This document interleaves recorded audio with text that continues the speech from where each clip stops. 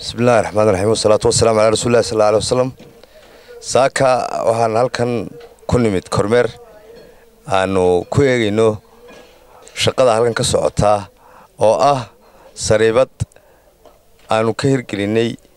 ama ay ka hirgelisay mashaaridii jibeljida ka tirsanay dowladda hoose. Taasoo beryahaba meel loo raadinaya baanu dhowaan halkan keennay degmadan axmed dagax waa taa arkaysaa way socotaa si fiican bay u socotaa. Waxay ka mid tahay mashaariicda g b l g-ga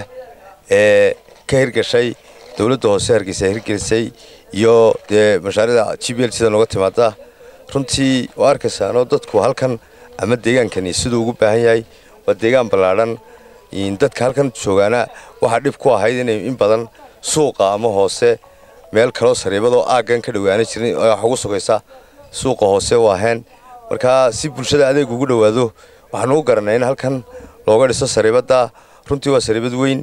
oo ku filan xaafadan la yidhaahdo maandeeq oo ahayd xaafadihii wakhtiyadii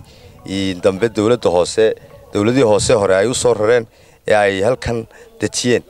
Runtii dadweynuhu aad bay u soo dhoweeyeen sariibaddan oo ah dee halbowle ama meel ganacsi oo dee dadkii khudaartii iyo adeeggii ay u baahnaayeen ee xaafaddan halkay suuqa ka doonan lahaayeen ay ka helaan. Aad iyo aad baanay hawsheedu si fiican bay u socotaa. Insha allahu mashaariic kale oo dee kuwan ka ballaadhanna waanu ka hirgelin doonnaa hadday tahay xaafadda iyo hadday tahay deegaamada kale ee hargeysa